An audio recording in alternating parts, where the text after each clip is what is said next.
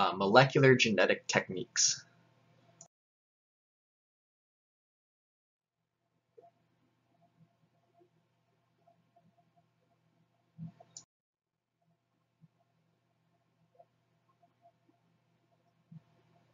There are two strategies for relating the function, location, and structure of a gene product.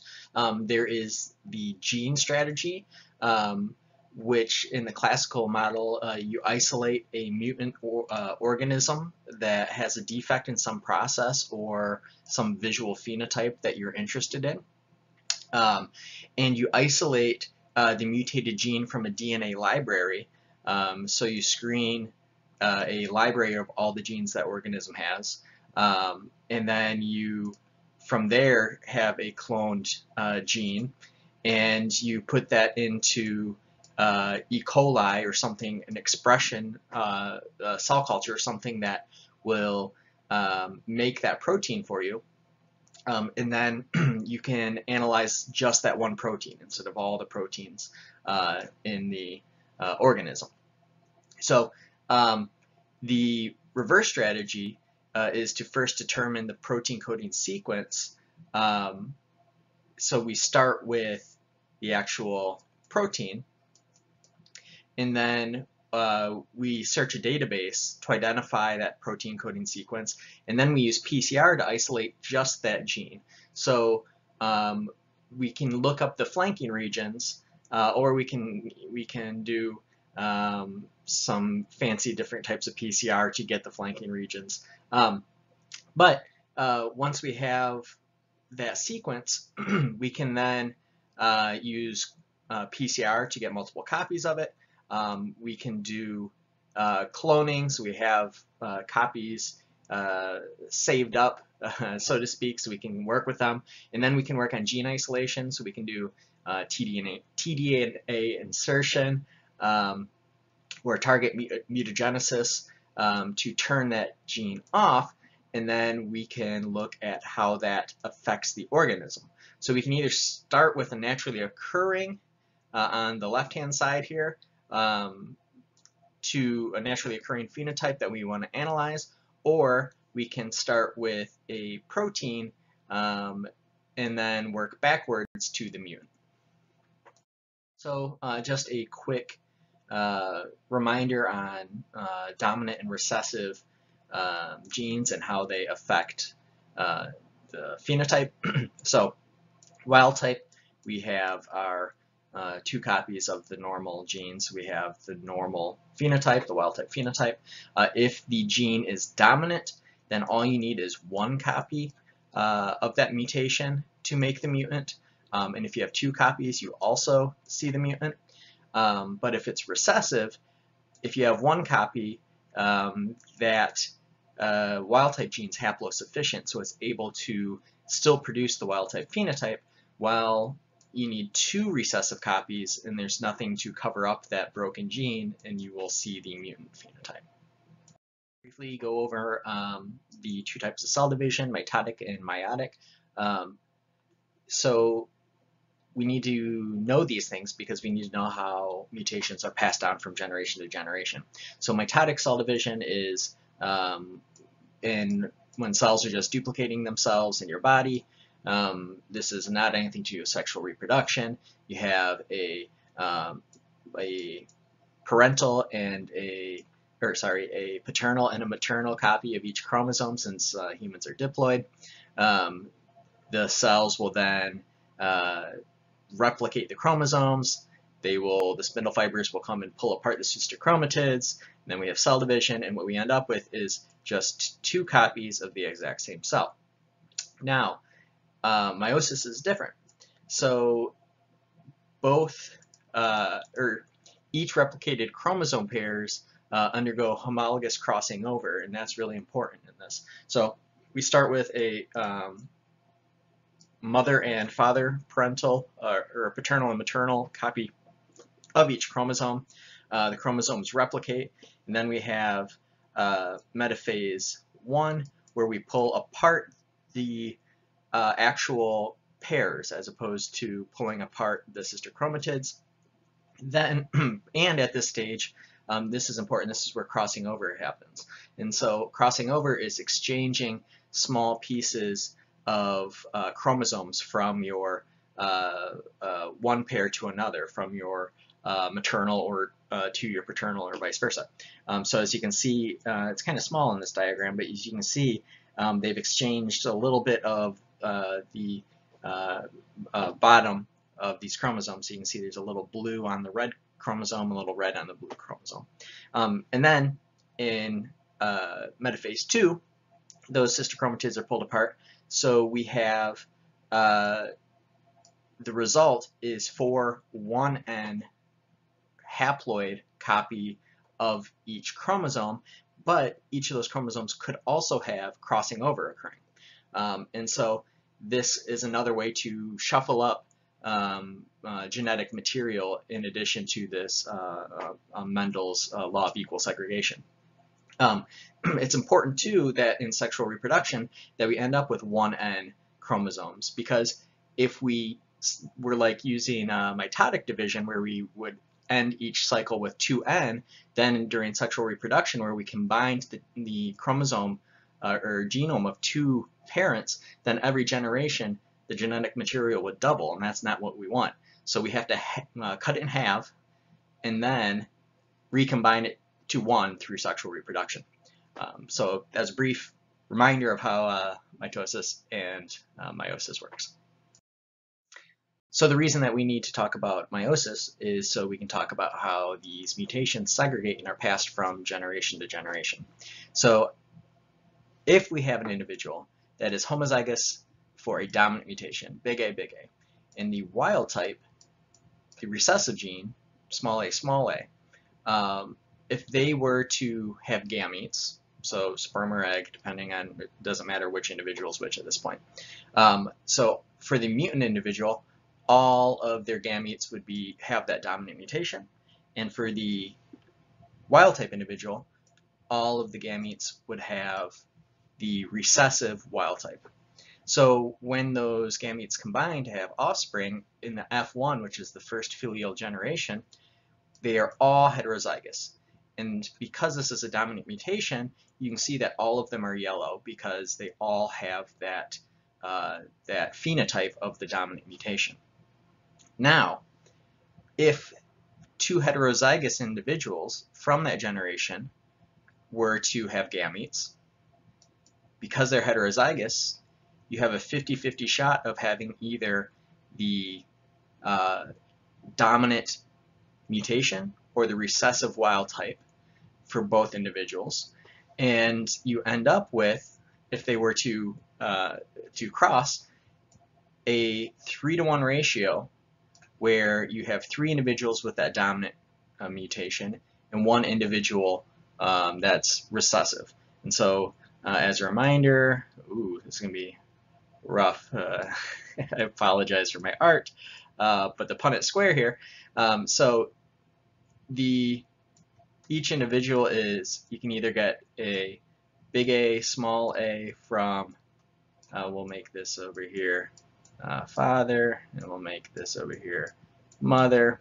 So with our Punnett square, when we set it up, you have big A, big A, big A, small a, big A, small a, small a, small a. Now, because of that, if you have, since it's dominant, if you have only one copy of the big A, you show the dominant mutant phenotype. So those three are mutants, and then the doubly recessive, uh, homozygous recessive here, is normal. That wasn't as bad my art uh, drawing with a mouse is not my forte, but that actually looks pretty good. I'm pretty proud of myself. All right, so uh, let's talk about uh, segregation of a recessive mutation quick. Um, so in this case, uh, you have to have two copies of the recessive allele to be a mutant, um, and the wild type is actually dominant. Um, and so from there, all the gametes of this first individual um, are contain the mutant allele, and for the wild type uh, individual, all the uh, gametes contain the uh, dominant wild type. So the first filial generation is heterozygous again, so it's got one copy of the dominant, one copy of the recessive. But since this mutation is recessive, we see that there's no change in phenotype. It doesn't look like a mutant. Um, and, uh, and when we talk about humans, sometimes we talk about carriers for diseases. So this person would be a carrier because they don't show the phenotype, but they have a gene that can lead to that disease. So if these homozygous or heterozygous individuals uh, were to reproduce, their gametes would be either uh, a big B uh, dominant or a small b mutant um, for both of them. And then if we were to do the same Punnett square um, as before, here we go again. All right. Ugh, still not great. And so we're crossing two heterozygotes again. Big A. We get big A, big A, big A, little a, big A, little a, little a, little a. We'll make this the male, and we'll make this the female. So the only difference here is that instead, because the gene is recessive, you need two copies of it to show the mutant phenotype. So our recessive or mutant would be down here, that is the little a little a's, and then all of anyone that has a copy of the normal wild type gene, these three squares up here are going to be blue for normal phenotype. So if we want to know how genes of interest uh, interact with one another, for uh, example, in a pathway, uh, we can do studies with double mutants. And so uh, in our first example here, we have uh, a mutation in gene A, and that leads to the accumulation of some uh, intermediate product, number one. Um, we, if we look at a gene B, that leads to a accumulation in a different intermediate product. Now, if we do a double mutation, where the organism has a mutation in A and B, then there is an, also an accumulation of intermediate 1. So our interpretation from that is that the reaction catalyzed by gene A needs to happen in order for there to be an intermediate for gene B to catalyze. So if you break both of them, there's none of number 2, intermediate 2, for B to process to become the final product. So we know that gene A, because of the double mutation, is upstream of gene B. So now if we were to look at uh, a signaling pathway instead of a biosynthetic pathway, we have a mutation in gene uh, A represses our reporter expression. So this can be a GFP, it can be a LAC uh, gene, something that gives a phenotype that we're, we're trying to determine uh, how it is regulated. Uh, a mutation in gene B gives constitutive reporter expression. That means that uh, it's always on. So a reporter never gets turned off. It's just constantly running uh, 100%. So uh, if we have a double mutant, um, that gives repressed reporter expression. And so what we would take from that is a positively, or A, positively regulates reporter expression and is negatively re uh, regulated by B, right? So uh, A is what's responsible for turning on our reporter, and B is what stops A from working. And so if you were to break both of those, then there is nothing there's no A to turn on the gene, and so we see no reporter expression. So in this case, A would be kind of an inducer of gene expression, while B would be a repressor. So uh, in our last example here, we have a double mutation in A and B, and that gives constitutive uh, reporter expression. So it's always on. Um, and so in this case, that doubling mutation, uh, the interpre uh, interpretation would be that B is a repressor. It negatively regulates reporter expression, and A regulates B. So A says, okay, B, you can stop expression or you can start expression. Um, but since both of them are gone, then the natural state of this gene is to just be on, and B's job is to turn it off. So we would see that there is constitutive reporter expression, meaning that this those A and B are two genes that work together to turn off that gene. All right, so let's quickly talk about suppression and synthetic uh, lethality. And so uh, for suppression, we have an observation that uh, mutations in gene A and B each have a mutant phenotype, but the double mutant uh, has a wild type phenotype. And so how we would interpret this uh, through suppression is that uh, the function of each protein depends on the interaction with the other. So in the wild type, you can see here that are kind of these cartoonish binding sites. We have a square binding site in A, and then kind of the cutout of that square uh, for B, and that they fit well together.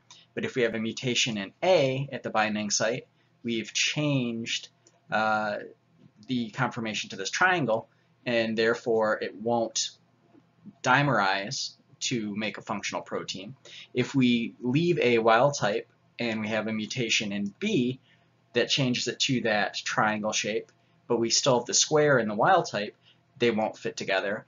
But we can have a double mutation where both the binding site on A and the binding site on B both change to this triangle conformation, and we get the wild type function again. So for synthetic, uh, synthetic lethality 1, uh, our observation is that a double mutant has a more severe phenotype uh, defect than the corresponding single mutants. And so our interpretation from this would be that the two proteins are part of kind of a, a heterodimer, so they are required to work together. You need two halves to make a whole. And they interact uh, to function normally. So in this case, uh, as you can see here, we have our perfect conformation where they're kind of reciprocals of each other, right? So you can kind of flip them over and they uh, match uh, either way. And they work fine when they're both wild type. Um, but if you have a mutation in A, there is enough of a uh, complementation there that it will still continue to work.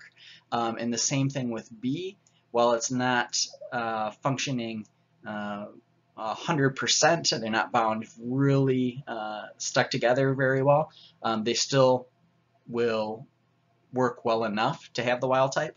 Um, but then if you mutate both of them, there's no way those two can fit together, and therefore we have a severe uh, defect. Um, and then if we look at uh, synthetic lethality 2, our observation is that a double mutant is not viable, but the corresponding single mutants have the wild type pheno phenotype. And so this is just another version of, uh, or the exact same phenotype we saw in synthetic, uh, synthetic lethality 1, but we have a different explanation or interpretation. And so um, the interpretation for the second one is that the two proteins function in redundant pathways um, that, that assemble some um, essential product. And this ha can happen quite a bit because there's a lot of uh, genome, whole genome duplications and things of that nature uh, in higher organisms. And so if we were to look at the wild type, we see that we have some precursor, say this is a sugar and some sort of metabolism pathway, and then gene A makes this final product, this blue circle, and gene B does the exact same job to make that final circle. Um, and so if you were to mutate A, we still have gene B doing the job to make that blue circle.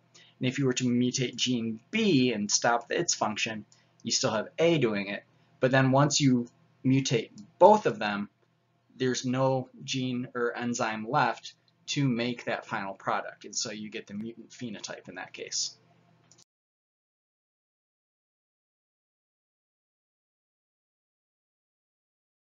If you want to study a gene, including the sequence, um, the protein it might make, etc., we can use recombinant DNA uh, technology.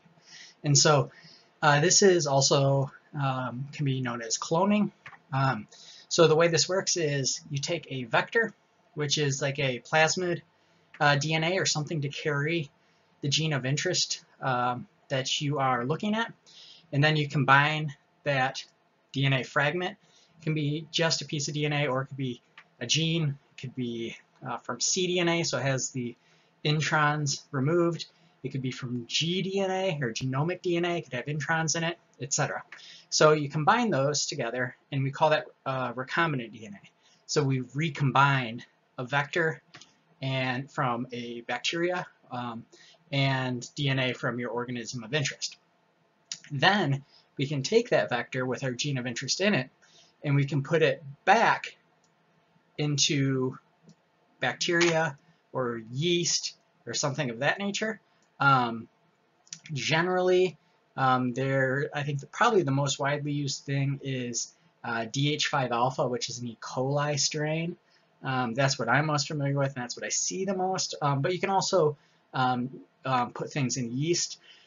The problem with uh, if you're trying to express these recombinant things in E. coli is if you know um, from uh, transcription in prokaryotes, there's no intron splicing, right? So if you have genomic DNA and you try to express that gene in bacteria, you're going to have a problem because it's going to include all those introns. Um, so then you would do something like yeast. But if you've pre-spliced them out by using cDNA, you should be okay with E. coli. Um, but once we clone them, so every time those uh, those E. coli replicate, then they're replicating our gene too. So we grow up a whole bunch of E. coli. Then we can use um, some DNA extraction techniques to isolate all those uh, recombinant DNA vectors, and then we can cut out our gene of interest, um, etc. DNA that uh, we've cloned in those vectors, we can't physically do that, right? We can't, DNA is so small, you can't just take scissors. Um, so we do um, rest restriction enzyme digests. And what that is, is we take these enzymes that we've isolated from um, bacteria and we we characterize them and we know exactly what pattern they cut in. So for in this example, we're using EcoR1 um, and every time we introduce EcoR1 with the right uh, environmental conditions to DNA, it's going to cut the same pattern. It's going to recognize this GAATTC pattern, and it's always going to cut between the G and the A on the 5 to 3 prime side, and the G and the A on the uh, five, the opposing side, the anti-parallel side. And so what happens then is we get what's called sticky ends. So as you can see, there is a uh, 5 prime overhang, right? So this is the 3 prime side, and then here's the 5 prime side, and it's overhanging. And here we have the 3 prime side on this side, and the 5 prime side overhanging here. And so we end up with this four bases of 5 prime uh, overhang that are complementary to each other. And we call these sticky ends because they have an overhang. So if they find another piece of DNA that complements them, the AA uh, or the TTAA overhang, it's going to stick to that. And that makes um, cutting out pieces and putting them back in easy if you can match up those sticky ends. So uh, here is uh, just a table of some examples of these restriction enzymes. Um, these are some of the more common ones, um, except I'm not familiar with uh, SAU3A1. I've never used that one. But um, BAMH1, EcoR1, um, uh, HIND3, um, uh, NOT1, those are fairly commonly used. Um, and uh, this will show you here, uh, we have the overhang sites, as you can see, um, like that for each of these things. And as you notice, they all have different recognition sites, so they recognize different combinations of nucleotides and different lengths. So uh, SAU3A1 only needs four nucleotides to cut, while EcoR1 needs six, um, and NOT1 needs one, two, three, four, five, six, seven, eight um, to recognize and cut. So uh, there's these giant tables of these enzymes. There's tons and tons of them. So there's really a different enzyme uh, for every purpose, right? Or for every piece of DNA. If you want to cut somewhere, there's likely an enzyme uh, for you to be able to cut that out. Uh, one more thing I want to point out from this table is uh, these are all sticky ends except for uh, SmaI, and that's probably why I've never used uh, SmaI. So SmaI makes blunt ends, and what that means is instead of having overhangs, it just cuts. So there's this, you know, uh, straight line. There's no overhang, three prime or five prime overhang, and you might think, oh, that's nice and, and uh, neat. Well, the problem is if you want to recombine DNA, um, not having sticky ends makes it really difficult to do what we call blunt end ligations, which means taking two blunt pieces of DNA and matching them up. Because there's no attractive force of those hydrogen bonds like we see with the sticky ends, you get very reduced efficiency. Um, and so sometimes you have to use blunt ends because there's no uh, like I said, there's that giant table of enzymes. Sometimes there's just not the one you need. The sequence does not have a known restriction enzyme to cut how you want it, so you have to use blunt ends. Um, so know that blunt ends are they're nice because you don't have to worry about matching things up um, with with your overhangs, but they're very low efficiency for recombining things. So another thing that these uh, sticky ends allow for is to make sure that the right piece of DNA is what is actually being incorporated into your vector. Um, so in this example here, we have our vector that we've digested with one of those restriction enzymes, and we have a TTAA overhang um, and with the phosphate group on the end, and uh, this is just the uh, um, hydroxide group that is present uh, after you cut. So don't worry about those really. But notice this, uh, this TTAA overhang. And so in our uh, reaction mixture, we have three genomic DNA fragments uh, that were cut out. We have A, B, and C. And if you were to put this vector in that reaction mix that's been uh, everything being cut already, then you notice that the only one that can really ligate based on those sticky ends is A, because it has the complement of AATT to actually ligate uh, to that vector. And because B has the CG uh, 5' overhang and uh, C has this AGCT, those don't match up with the vector's overhang. And so it'll uh, specifically pick or stick with the overhang uh, that we're looking for. So, so you can be very specific with what you want to uh, glue into place, so to speak. And so um, once we proceed and add the vector, we have our two ligated pieces, and then we have those uh, unpaired fragments that didn't have anywhere to go. And then um, there, as you can see here, we have this phosphate group and this hydroxyl group, and there's no black line there on either side, right? And so even though those hydrogen bonds stick stuff into place, we still need to use T4 DNA ligase um, along with ATP uh, to, for energy for this, uh, this reaction. And that fills in the DNA backbone between the newly ligated pairs. Um, so the hydrogen bonds will get you uh, everything stuck in place, but you still need to fix that backbone with DNA ligase. So this is uh, kind of a generic uh, view of a plasmid cloning vector. Um, and so uh, as you can see here, we have um, this polylinker site where we have a whole bunch of different um, known restriction enzyme sites. So those are um, detailed sites that we know if we add uh, hind 3, it's going to cut at the very top of this polylinker site.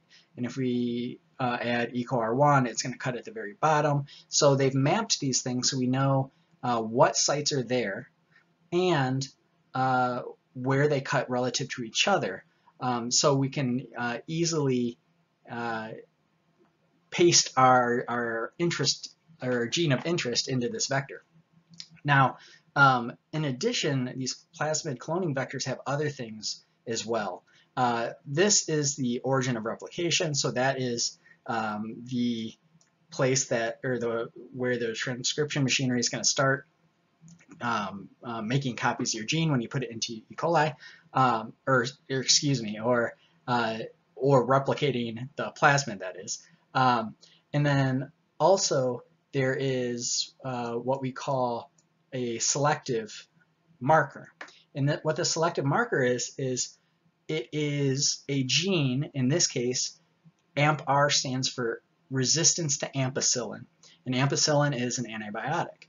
And so when we take this vector and put our gene in it, then we have to put it into uh, E. coli, for example, to make sure that we are making copies of it. And we don't want to put, or we don't want to grow bacteria that didn't get that gene, right? So when we introduce this vector into E. coli, no process is 100% efficient. So there'll be a lot of them that took up our vector, our recombinant DNA, but there'll be a lot of E. coli that didn't get anything.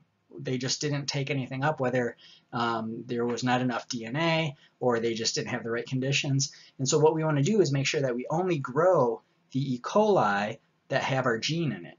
And so having this ampicillin gene present on the vector allows us to grow this E. coli on a selective media such as ampicillin.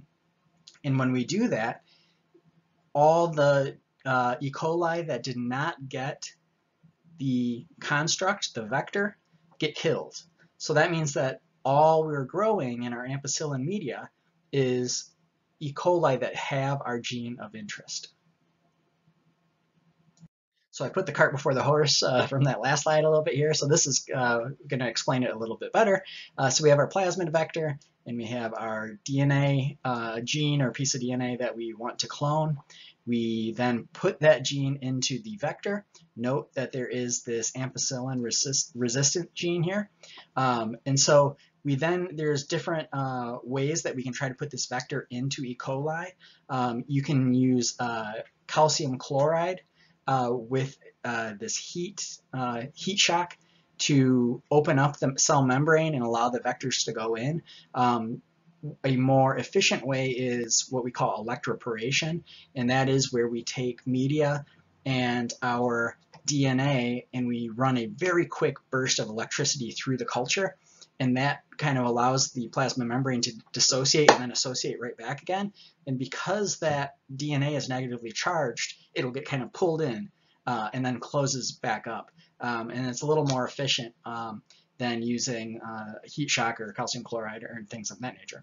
Anyways, um, so we get our the our uh, vector inside some of the E. coli, but as you notice, some of them do not take up that vector because there's no way you can be 100% efficient.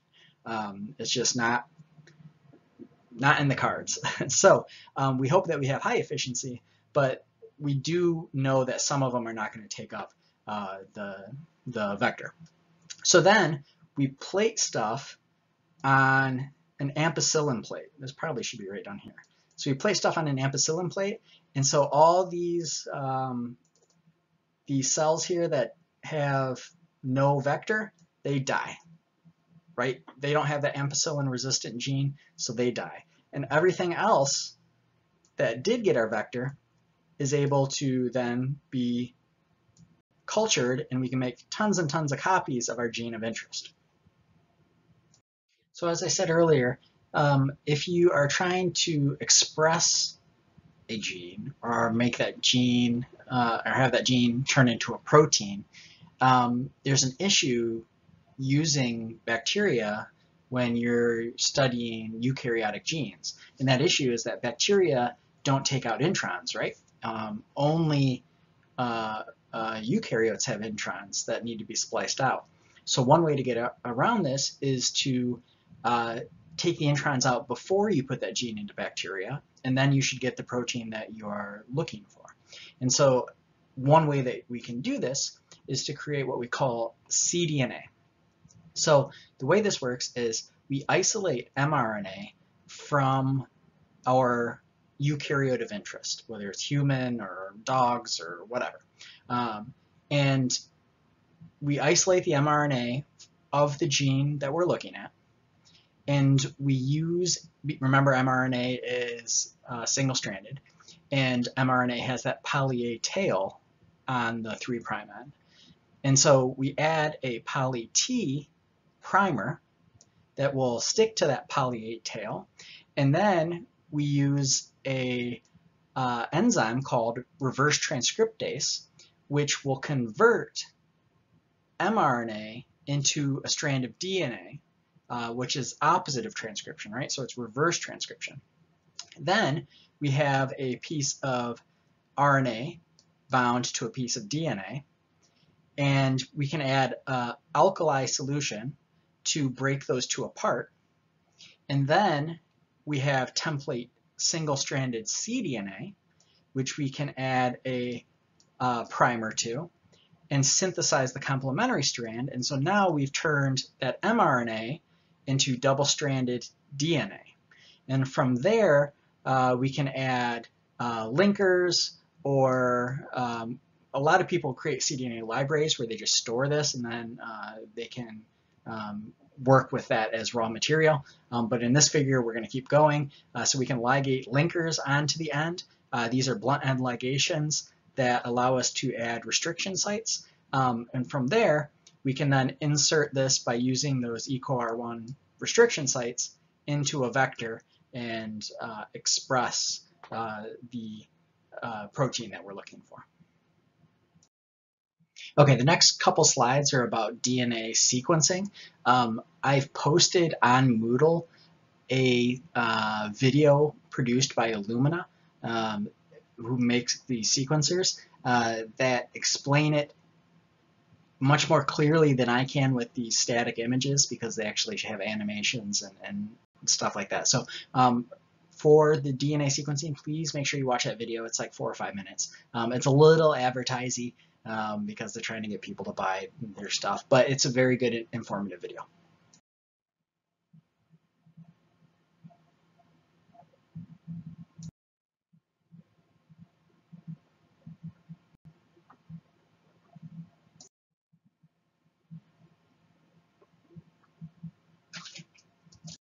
As stated earlier, uh, we can use E. coli uh, to not only clone genes, but we can actually put constructs in the E. coli uh, that make the final protein product.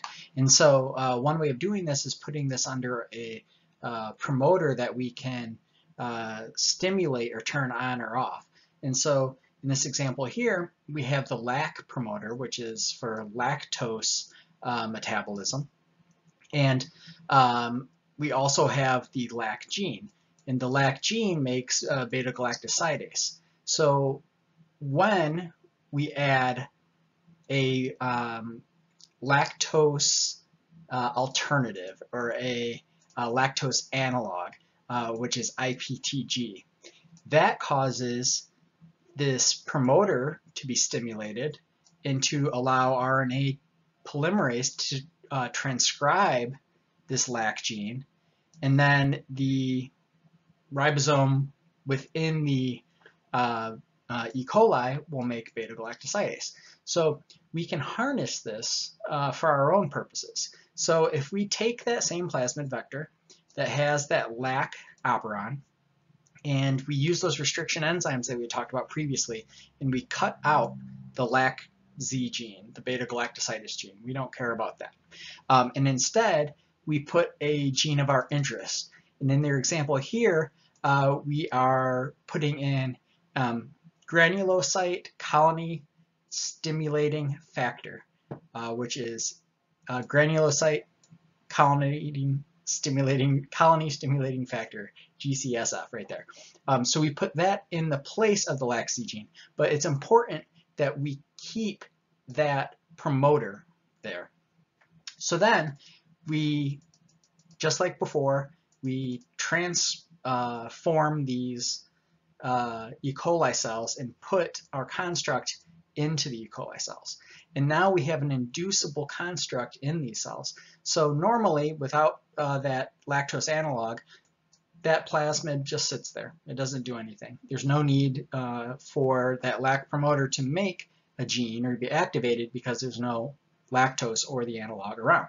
So, but we can stimulate the production of our protein by using this if we introduce IPTG. So that promoter is going to sense IPTG, allow for transcription with RNA polymerase, and then production of our GCSF.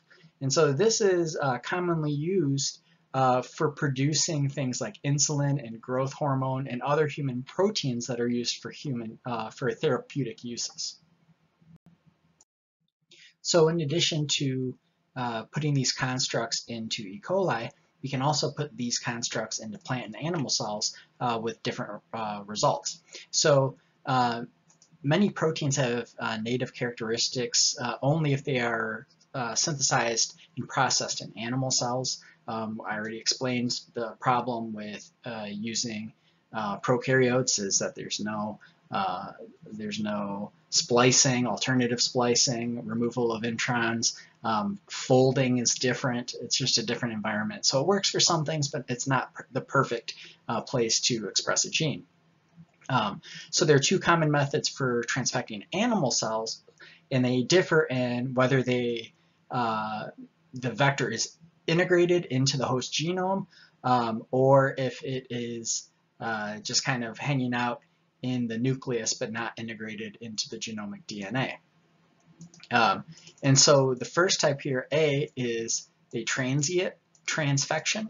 And so a plasmid vector containing uh, a viral uh, origin of replication um, that is inserted into a cell, but because that vector is sitting there in the nucleus and the eukaryotic animal cell doesn't have uh, anything to recognize this viral origin of replication or anything. It doesn't have the machinery to understand how to use what it thinks is bacterial DNA. That means that it's not being replicated. And so every time this cell splits, it, both daughter cells don't get that vector, right? Because there's nothing there to to replicate. So uh, what happens then is over generations or uh, multiple cell divisions, fewer and fewer of these cells have the recombinant DNA in it. So alternatively, a way to actually remedy that uh, problem situation is to incorporate our gene into the host genome. And if we do that, then the eukaryotic replication machinery will replic replicate the entire genome, including that gene that we put inside there. So as you can see in the picture here, we just have the circular um, vector floating around in the nucleus, and it's making proteins, but it's not being replicated with every cell division. Um, so in this bottom, you can see here that we're going to try to actually include that gene into the host's genome. And so uh, one way that we can do this is to um, have a selectable marker where we transfect our animal cells with uh, electroporation, for example, and then we grow them on a media that has our selectable uh, select, selectable marker, excuse me. Um, and our marker here is neomycin resistance. Um, so we have a media that is a G418, and that will get rid of any cells that don't have that vector. So it will get rid of cells uh, such as this that are um, no longer or during replication didn't get a daughter cell or didn't get a vector because they're a daughter cell. Um, and what we'll do is let generation after generation occur, only selecting for individuals that have that uh, gene of interest integrated into the genome. And by doing this, eventually we will get one of these individuals that has integrated the gene through recombination into their own genome, and then that's a stable transformant in that from now on, whenever it replicates its genome, it's going to replicate the gene we inserted as well. Now, what if we want to know where a protein goes. So we've been working on cloning this gene. We know the sequence. We can express the protein in a bacteria, etc. Um, but we want to know where it is located naturally within an organism. And so what we can do is we can use fluorescent proteins uh, to facilitate the cellular localization uh, from cloned genes. So hybrid sequence can be constructed that uh, include or that encode, excuse me, uh, chimeric target proteins. Um, so what we're doing is taking a fluorescent protein such as GFP, which is something that naturally occurs in jellyfish. Um, it's kind of like a luciferase that you'd see in a firefly, um, but it is um, uh, stimulated by um, an excitation uh, wavelength, so we can uh, tell it when to fluoresce. So uh, in this example here, they have a C. elegans um, that has ODR10 um, uh, protein that is fused with a GFP. And so then when we put it under a fluorescent microscope and we excite that uh, GFP with our excitation frequency, we get fluorescing. And because this GFP is physically attached to that ODR10 protein, we can see where exactly that protein is within this worm.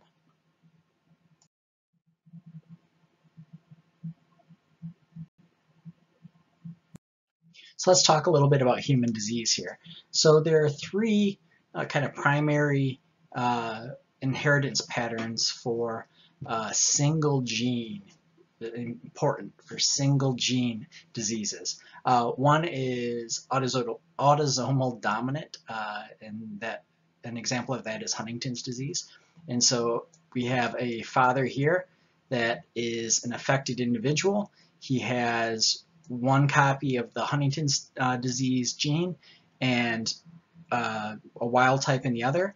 The mother has two wild type genes. So for both males and females, um, this cross would result in half being affected and half not being affected. We also have autosomal recessive. Um, an example of this would be cystic fibrosis. Um, so here we have two parents, a male and a female, that are both carriers, so they don't express the gene, but they uh, have it. They have the recessive copy of it. And so what happens is in their offspring then, we have a three to one ratio of non-affected to affected, although two of them we would consider carriers. So if we were to do this Punnett square, uh, again here, this, and we have, we'll have uh, big A be wild type and little a be the, uh, the, or the cystic fibrosis gene. Um, so we have big A, little a, and so this will be the dad up here, this will be the mom on the side. Uh, we have big A, big A, who's the non-carrier. Then we have big A, little a, and big A, little a, and those two are both carriers. And then we have, lastly, little a, little a, and that is the affected individual who does not have a uh, dominant copy of the gene to mask that um, uh, phenotype. Excuse me. It's getting late. I'm, I'm, stumbling over my words a little bit tonight. All right, uh, and then lastly we have X-linked recessive. So Duchenne muscular dystrophy is a an example of this, and so this is um, not autosomal because it's on a sex gene, the X uh, chromosome, or sorry, it's on the X chromosome, sex chromosome. Um, and so we have a male individual that has is wild type for uh, the non-DMD gene, and then he has a Y chromosome. Um, and then the female, the mom, has, is a carrier for DMD and has a wild type uh, as well. And so the offspring would have males who are affected, half of them are, and half of them are 50% probability that you'd be unaffected. Um, because these males are always going to get that Y chromosome from their dad. They have to, otherwise they'd be female. Um, so they have a 50-50 shot of getting either um, this uh, DMD gene or the regular X uh, gene.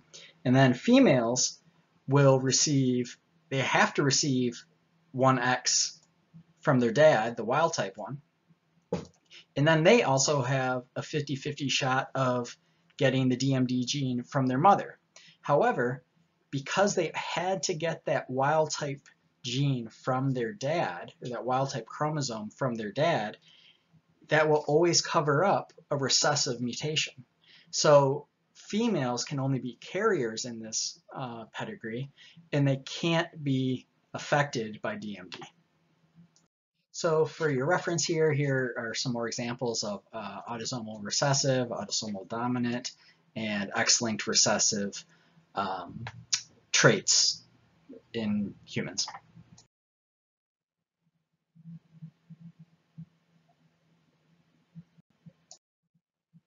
So another way we can look at how genes work in an organism is to break them.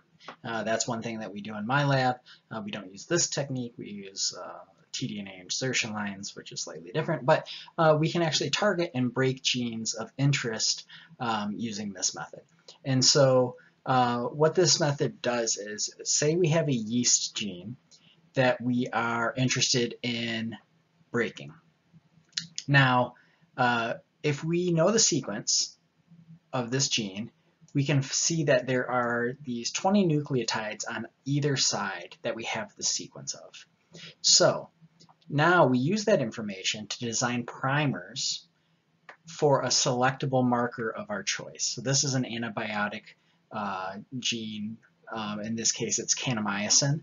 Um, and when we make the primers to do PCR on that kanamycin, we make sure that the primer has this 20 nucleotide flanking region that we saw near our gene attached as an adapter on the end. So that way, when we do our PCR, we have this complex that it has our kanamycin gene, but it also has those two flanking sequences that are perfectly identical to the flanking sequence of our target gene. Now what we can do is we can transform, whether through electroporation or some other uh, the calcium chloride method, etc. We put that disruption construct that we made into the yeast cell.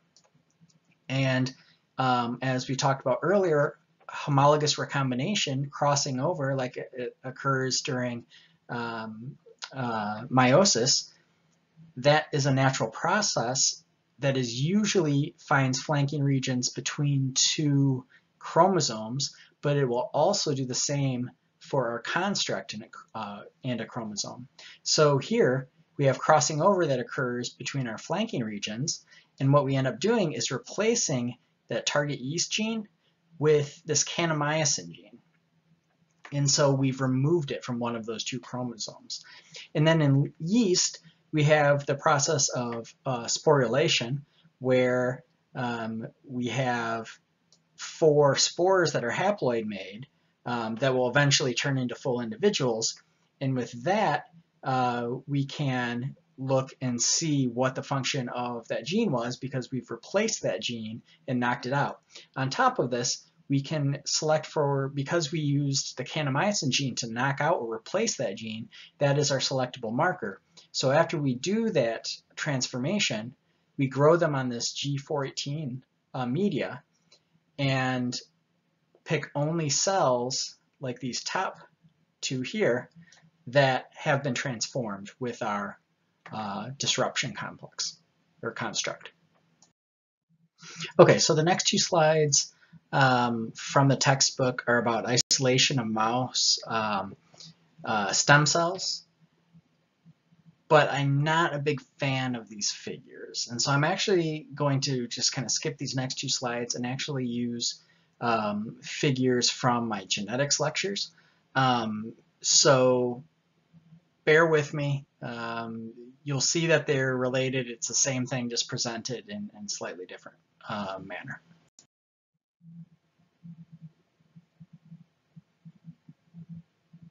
Okay, so this uh, is from the genetics, uh, my genetics course. It's the same thing, but I think they presented it a little bit better um, in, in the genetics textbook. Um, so we're going to look at how to produce embryonic stem cells uh, with a gene knockout in mice. And so in this example, we have a cloned gene. Um, we're going to add some things uh, to this gene uh, to create a construct. We're going to add uh, this uh, TK gene. And we're also going to put a neomycin gene in the middle of our exon 2. And then we're going to introduce them into mice.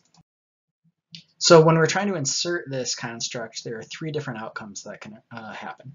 One is that we have that inserted uh, selectable marker inside our gene, exon 2. And when it gets inserted into the mouse, recombination occurs. And so then in the mouse's chromosome, we have that neomycin gene inserted into the mouse host chromosome, but we didn't insert the TK gene, and we didn't insert any of this uh, other yellow um, non-important DNA. So all we did was insert that neomycin gene into the middle of that second exon. Now, another possible outcome is that we get a random insertion where, as you can see here, this entire construct gets inserted randomly somewhere in the chromosome. And that's not good uh, because if we're looking to see what the actual function of that gene is that we put the neomycin into, if we insert randomly somewhere else, we could be breaking a different gene. And then we don't know, we'll see a phenotype and, and not know exactly um, if that is the result of the neomycin insertion or if we inserted this vector randomly in, say, a glycolysis gene or something like that. And then the last thing that can happen is just no insertion, right? And so this construct is made to have selectable markers that allow us to find these two events and exclude cells that have those events in them. Now, remember our construct had two different selectable markers in it. It has neomycin uh, and the neomycin resistant genes, and then it had uh, that TK uh, gene. And that TK gene is selectable for um, constructs that have this uh, Genke clover.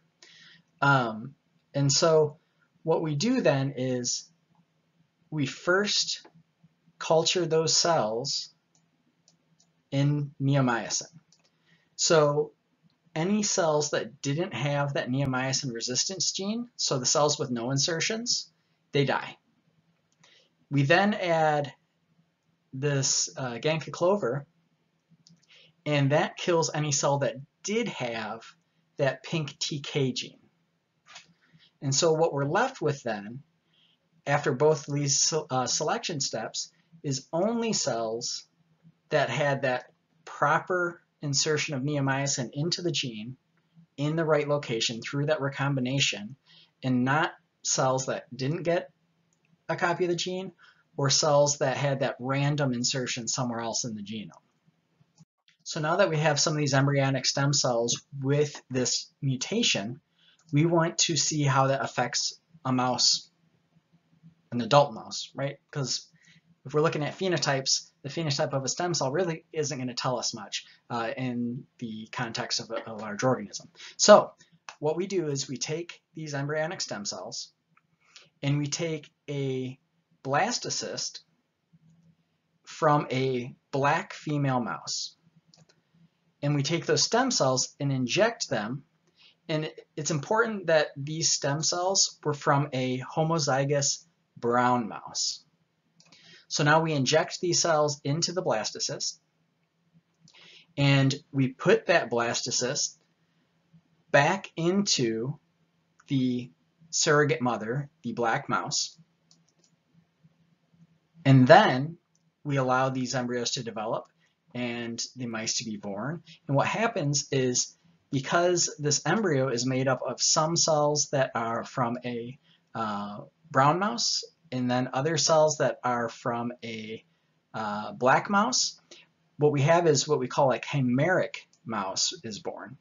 And this chimeric mouse has stripes that are uh, black from the uh, host blastocyte or the uh, receiving blastocyte, as well as brown parts from those embryonic stem cells that we put in there.